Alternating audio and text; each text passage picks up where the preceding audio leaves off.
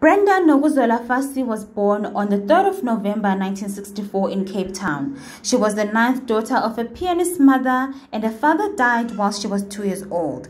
At a young age, she made money together with her mother by singing for tourists. She was 16 years old when her career took off after being discovered by a renowned producer. She became part of the popular group The Big Dudes and in 1983 together they released the global smash hit Weekend Special. In the late 1980s, 1980s, Brenda established herself as a solo artist working with the great Chicco Twala.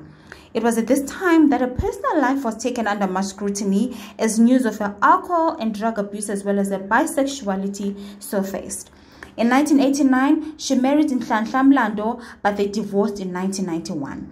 Despite getting in and out of rehabilitation centers, Brenda continued to make timeless music and bagged many awards.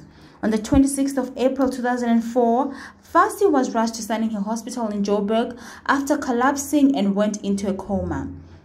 The country held prayers for the next two weeks, but sadly, on the 9th of May, she took her last breath.